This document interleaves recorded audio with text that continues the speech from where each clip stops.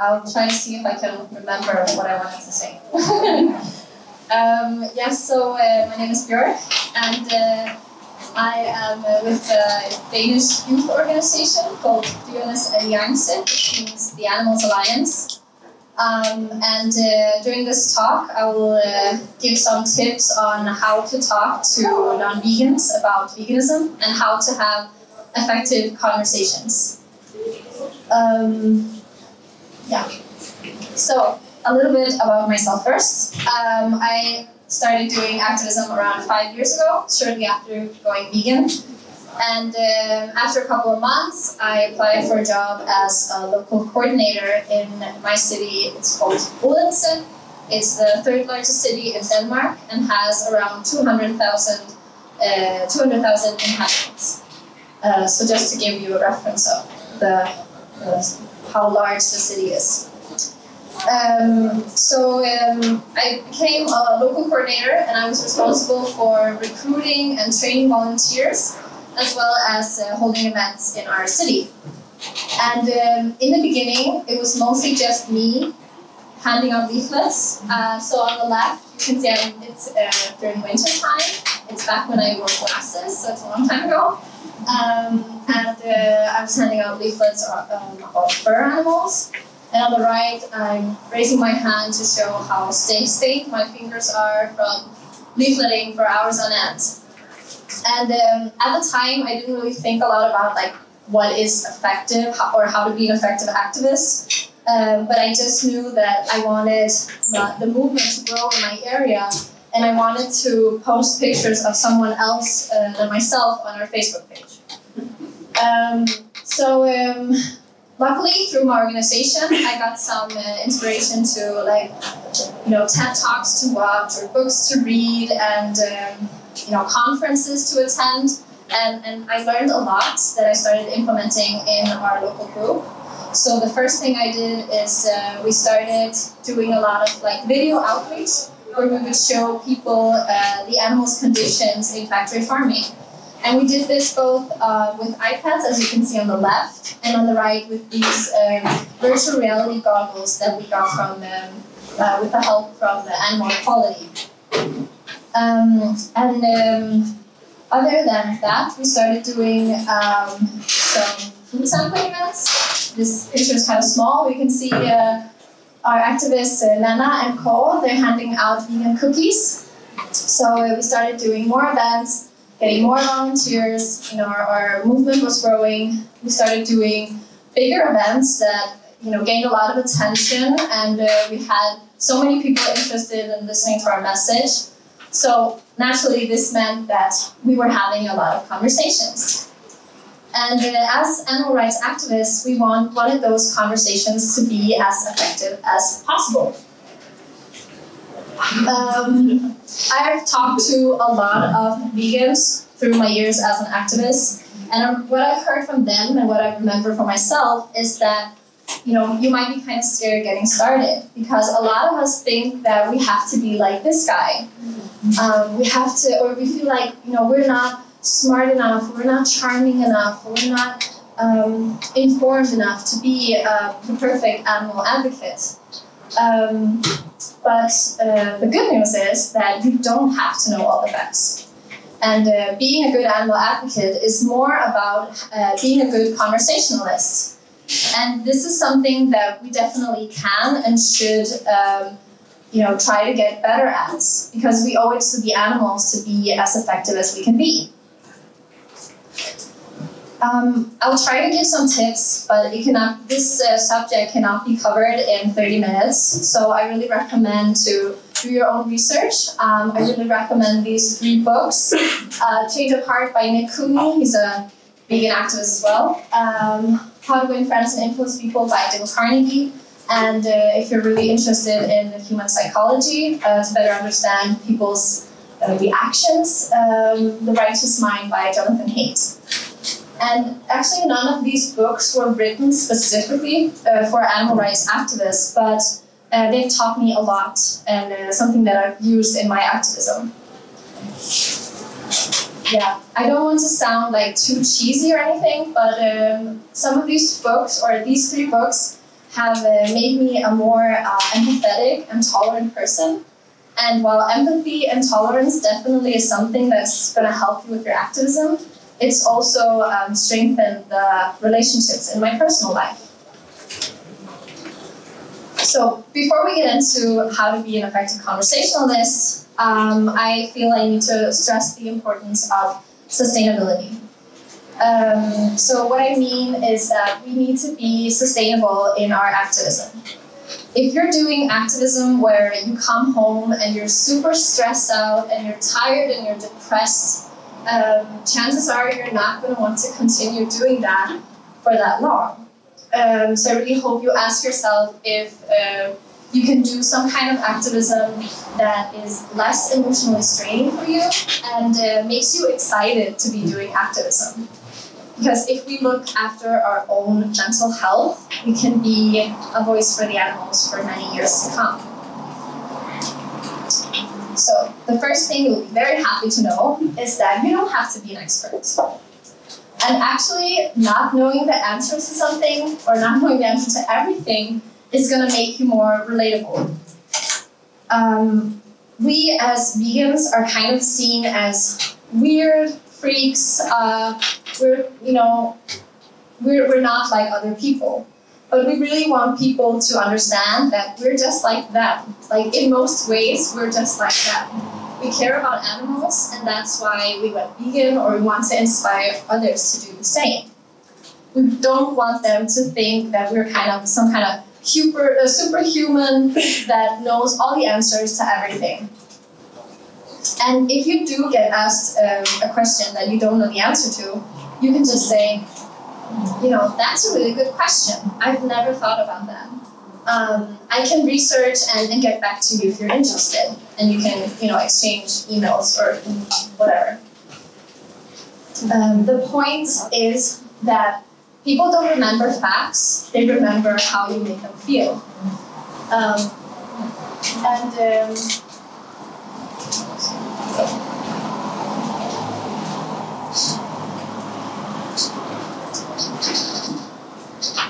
yeah, so if we can show them that we are just normal people that want to inspire others to um, help animals, it's going to be a more positive conversation.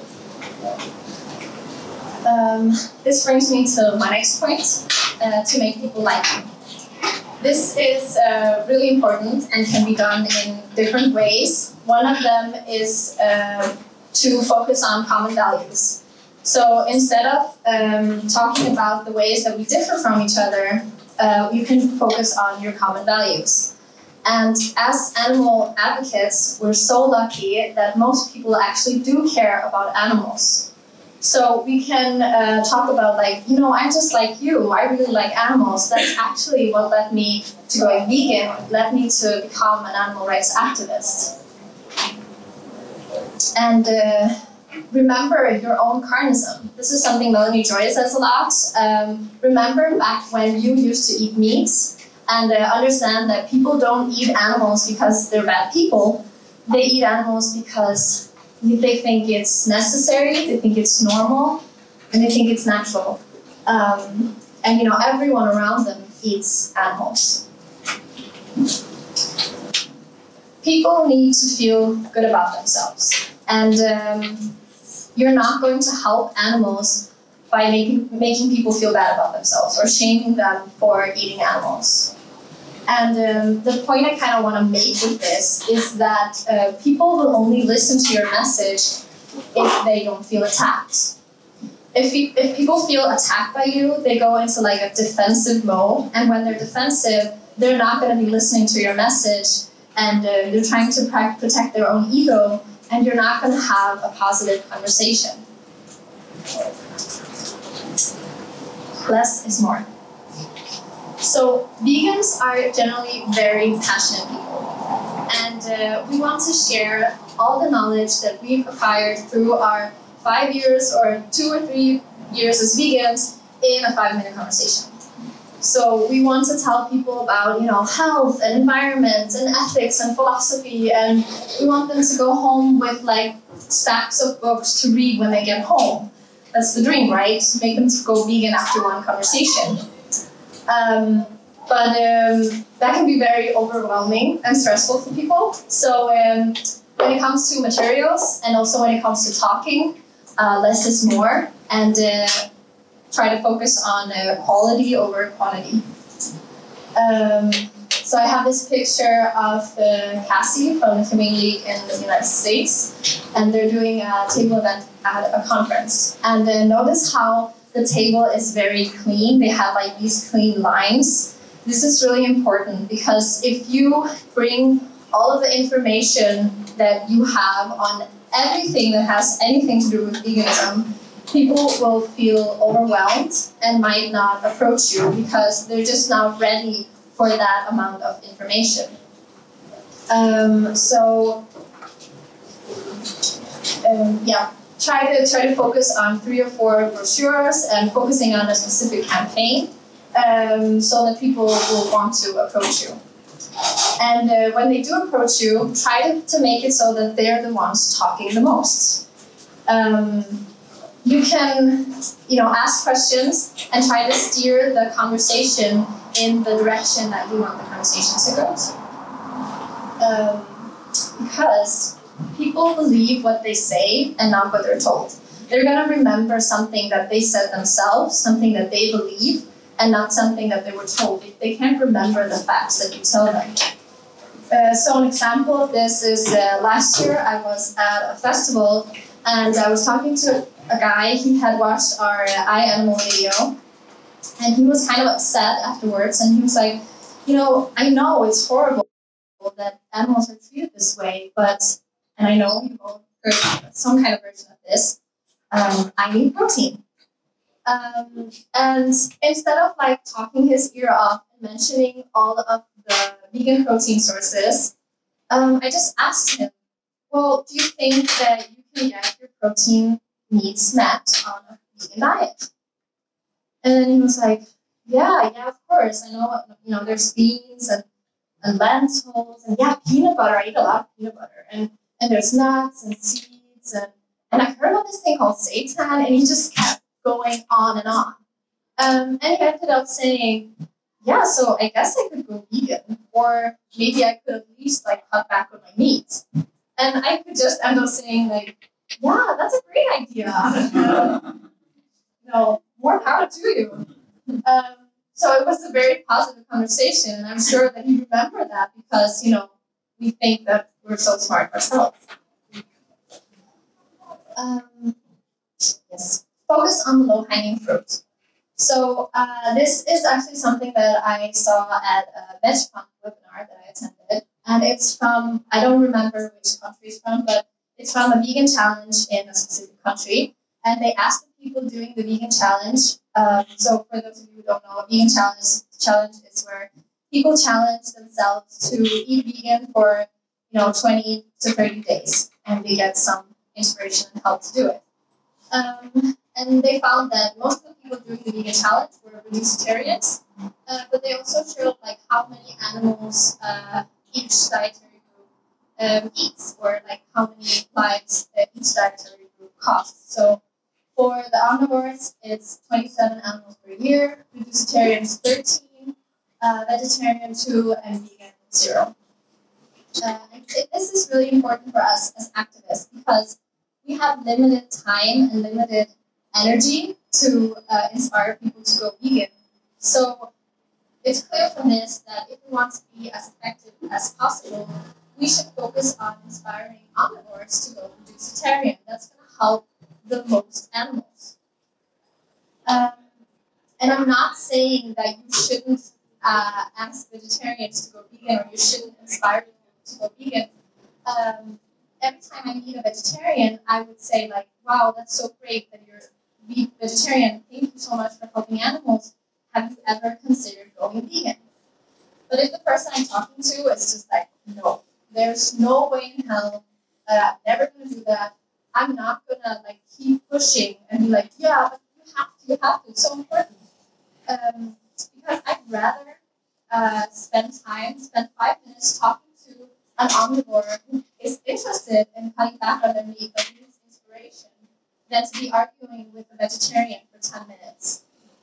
And this is because, you know, during an event, I want to talk to as many people. I want to inspire as many people as possible. Um, and uh, that's why I usually just talk to people for about five minutes because I'm just there to plant a seed. Um, we have to remember that you know your job is not to make people go vegan after one conversation. Your uh, job is to find out where they are on their journey and help them uh, moving on. So, like if they're you know omnivores, you could ask them to come back on their meat. If they're already coming back, ask them to come back more, or ask them to go vegetarian. um, so, what's the best uh, motivation to get people to cut back on their meat? So, YouGov did this uh, big report on Brits' attitudes towards uh, veg lifestyle, and they were asked uh, what the reason would be for them to give up meat. And um, 44% said that it was the concern of animal welfare, and 41% that it was for general health reasons. And there may not be like a big difference between these two numbers, but from a personal experience, it's a lot easier to talk about ethics than to talk about uh, health. Um, I think animal advocates uh, might feel like they have to be experts on nutrition to be good animal advocates. Because I've experienced conversations going into like, well, how much vitamin A is there in 100 grams of carrots? And I'm, I don't know how to answer that question. And I, you know, you can't expect yourself to know everything about nutrition. So if you can just focus on, if you can agree that a plant-based diet can be nutritionally adequate, you can meet all your needs on a plant-based diet, the conversation just comes down to ethics. And it's much easier to talk about, you know, it's not okay the way we're treating animals. Don't you think it's sad? Aren't you upset to see that? If they're completely uh, like very negative towards uh, veganism and they're like, no, it's not natural, it's, there's no way, um, you can always talk about meat production because everyone can agree that eating more um, fruits, vegetables, and legumes is going to Um, the next one is to acknowledge their efforts. And if you meet a vegan or vegetarian, you need to make them proud. Um, most people that go veg go back to eating non-veg. Um, it's really sad, but maybe understandable considering they might be you know the only one in their family or the only one in their social group that's vegan and they feel you know they feel isolated they feel no, alone. So when they do meet someone who's vegan we need to be um, you know get them excited about being vegan. Just be like wow it's so great. You're, you're vegan? That's awesome. And maybe ask them like well why did you go vegan so that they can remind themselves why they're doing what they're doing? We want them to feel proud and excited about. And even if they're not vegan or vegetarian, every little helps and encouragement is a lot better than shame. So if I meet a person and they say that you know they they actually do meat free Mondays or they try to cut back on their meat, I'm always super excited. I'm like, really? That's awesome. That's so great. Um, you know, if everyone uh, did their best at cutting back on meat, we would have a completely different world for uh, animals today. Because we need to cultivate empathy. And um, if people feel excited about, you know, doing what they're doing, cutting back on their meat, they, they might be like, yeah, it is actually kind of cool that I'm doing that. I'm, I'm helping animals and I'm helping the environment. And, and maybe I should even, you know, cut even more back on meat, doing like maybe like two or three meat-free days a week. It's a lot easier to get, you know, seven people to have a one meat-free day a week than to get one person to go vegetarian. Um, so you also have to show them the how of veganism. Um, as advocates, we focus a lot of, about the why, like uh, you know, you should do it because of ethics and because of the environment and because of health. Um, but even if people have all the good arguments for why to do it, they still need information on how to do it. So one thing you can do is uh, give them a recipe that they can go home and try. or tell them about a vegan restaurant or store where they can buy a vegan item. Um, and don't be afraid to ask a very direct question at the end of a good conversation. Um, so you can say like, um, so are you going to try this recipe that I gave you? Because if people have uh, said yes to you, they're going to feel more obliged to do it when they come home. So getting that uh, confirmation or getting a yes even a maybe can be uh, very helpful to getting them to actually uh, go through with what they want to or what they said that they wanted to do. And uh, at the end of a conversation, remember to thank people. And you can thank them for their time, for their honesty, for their interest in uh, the topic, uh, for their openness towards you, or just for an interesting conversation. And you can do this even though um, you had, like, even though you have haven't agreed on everything. Uh, even when people tell me, like, you know, veganism is just not something I would ever do. Um, I'll just say, like, well, thank you for taking the time to talk to me, and thank you for your honesty. I really appreciate it because I want them to like me. I want them to have a good impression on vegans uh, and, and hopefully veganism.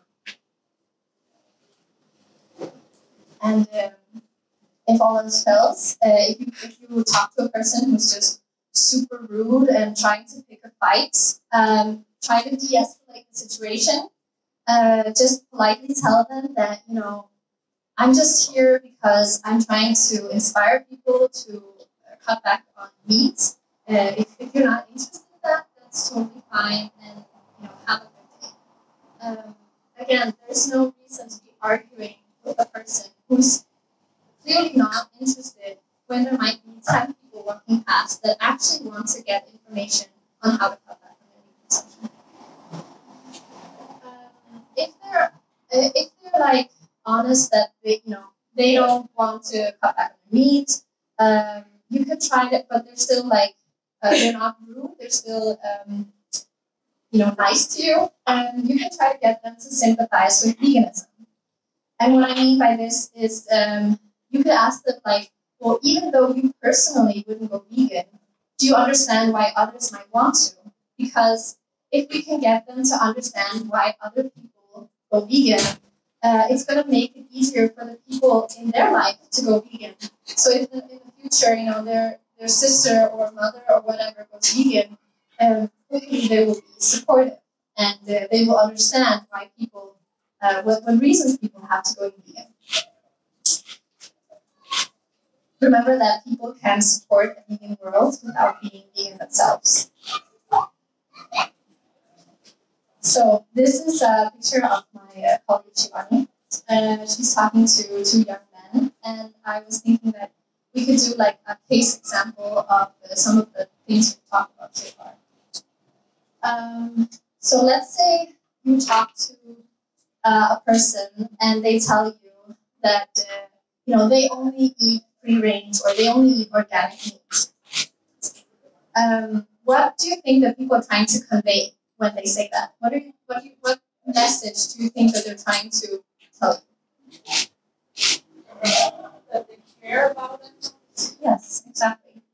So the first thing we can do is, you know, ask them a question. So usually I would ask them like, so what makes you eat um, or buy organic meat? Is it uh, because of the animals?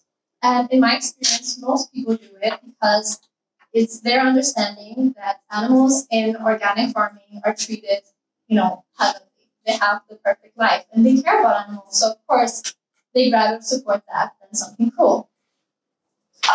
Um, and, you know, so at this point, you need to acknowledge their efforts. So tell them, like, it's so great that you think about animals when you're doing your grocery shopping. You know, animals need all the empathy that they can get, and um, because they have a really hard time. Um, so at this point, you're thinking, I want to tell them that organic meat isn't all that great, but you know, I don't want them to get defensive. I still want them to like me. So how do I do that? Um, well, you can remember your carnism. Remember when you used to eat animals and you know you weren't a bad person, you were just misinformed. So I'll just tell people like, you know, I'm like you. I'm exactly like you. I really care about animals too. And um, for years, I thought that animals were treated nicely uh, in factory farming. And I found out that it's not the case. Um, but luckily, we can eat vegan. We can eat vegan foods because uh, then we're sure that the animals have not been made to suffer. and then we can try asking them a direct question. Um, have you ever uh, considered like cutting back meat uh, to help the animals that, that you care about so much? Um, or is it something that you already, already do? And a lot of people I talk to will say like, either they'll say like, yeah, I have like a meat free day a week, and then we can you know talk about you know what foods to eat and and you know it's great that you eat the meat free once a week. Um, or they'll say, um, yeah, I would really like to, but I just don't know how. And then the conversation can evolve into like the how of veganism. We give them a recipe, inspire them to you know uh, take action. Um, so my last tip is to uh, consistently evaluate your activism. And there's really no perfect guide to being, a, you know, the best activist ever. But I hope that these tips have inspired you, given you some ideas. And um, if you do experience like a negative conversation, that's totally fine. It's something we all do. And um, I encourage you to think of every conversation as like an opportunity to learn and to grow and and to um, you know figure out for the next for the next conversation you're having like oh what could I what could I have said what how could I make that conversation more positive um, and to evaluate if uh, you've been successful uh, you can ask yourself well first of all did the person I was talking to like me and did I talk about the cause and if you if they liked you and you talked about veganism they're going to have a more positive attitude towards veganism. And when they go home, they will probably continue their reflection on this subject. And uh, if you've done these two things, you're golden. I would also really like to recommend this uh, book by Melanie Joy called uh, Beyond Beliefs. I saw that they're actually selling it outside. Um, but it's really important for us to understand carnism and understand the defense mechanisms to um, to know that you know even if people are defensive and rude, it's not because you know it's not you personal personally that they're you know, angry at. It's just the defense mechanisms of their carnism, and um, it's not. It doesn't mean that you're doing a bad job. And uh, lastly, I would just encourage you to get out there because most of what I've learned has just been from experience you know, having really bad conversations and thinking, oh, what could I have done better? Or, you know, being with other activists and listening to what they say and thinking like, oh, that sounded really good. I'm going to use that next time. And making like notes to yourself of, you know, how to phrase things or topics to talk about. Um, yes. So just to recap, be nice, ask questions, find out what people are and help them with the next step. Acknowledge people's effort and cultivate empathy and show them how. And uh, yes, I really hope that you are inspired to become part of our ever-growing, um, ever-growing uh, activist group and uh, getting out there, inspiring others to uh, cut back on their meat or even going vegan. And uh, if you have any further questions, uh, questions, you can contact me on this email address. Thank you.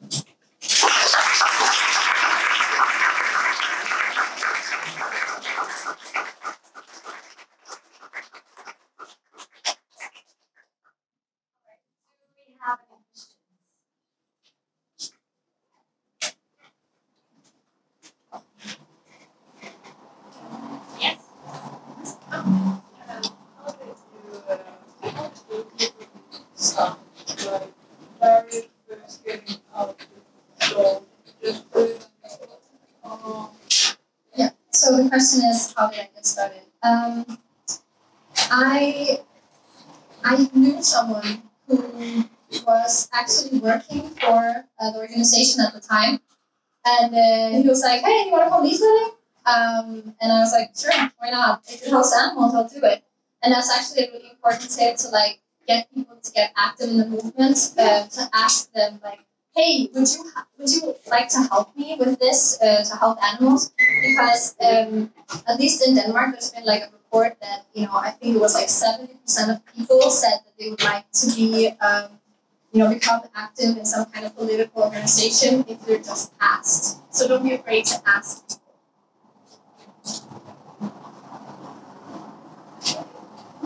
Uh, does your organization like stand in the streets or in the city center? Because in we did like a stand in the city center in Brexit, quite large city, and I thought I think that it wasn't so effective.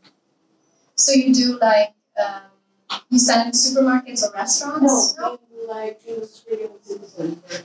Okay, and uh, you don't think it's effective because you didn't talk to a lot of people, or Yes, but also we like collected signatures for petition. Um, it was an online petition. Um, like at these uh, bigger events, we like collected like 100 signatures, and in the city center it was like 20 or 30 signatures, not so much. okay. Well, it, it might have to do with the like the I don't know how large your city is, like where you come from, um, because um, you know bigger cities are gonna be more progressive, more open towards veganism. People are gonna, you know, they've, they've heard about veganism or they've tried vegan foods. Um, so that's why I like started off with telling like, you know, the city I come from is the third largest in Denmark. So it's gonna be different with smaller cities or different in different countries. Um, and then, and I think it's really important to kind of um, tailor your message to your audience. So if people are like they don't know what veganism is, maybe don't be like, "Hey, go vegan." Maybe try to talk about you know uh, how animals are treated, and if, if they want to help animals, they can cut back. Um, because you know when I talk to like old people, I don't tell them like don't eat honey. Like they're they're not gonna they're not gonna think that's an issue.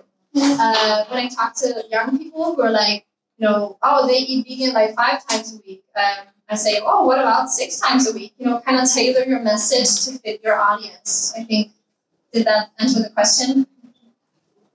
Kind of because yeah, this was for our campaign. It was, it was like um, I think for farms campaign too, and it's quite large thing on topic for us for our organization, but also in the media and things that we are. Maybe our organization is not so long, so know, Yeah. yeah. If you want to talk afterwards, uh, I would really like to you know, learn more about it and try to